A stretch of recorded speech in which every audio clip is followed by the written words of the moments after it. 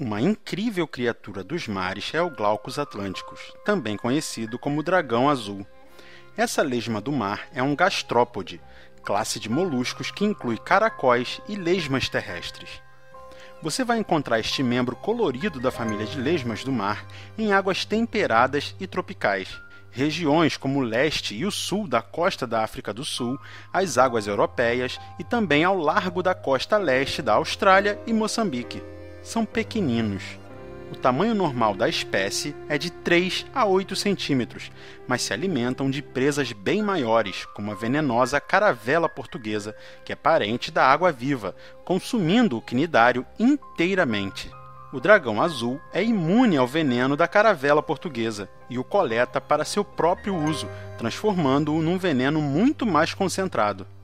Sua picada é mais poderosa e mortal do que a da caravela portuguesa. O veneno é armazenado dentro dos tentáculos, nessas estruturas fora do seu corpo, conhecidas como cerata. Este é apenas um dos seus mecanismos de defesa. O lado de baixo do dragão azul é essa bonita parte azulada e age como uma camuflagem contra predadores aéreos enquanto ele flutua de cabeça para baixo sobre a superfície da água. Suas costas são acinzentadas e voltadas para baixo enquanto flutuam, camuflando-os de predadores que vêm debaixo d'água.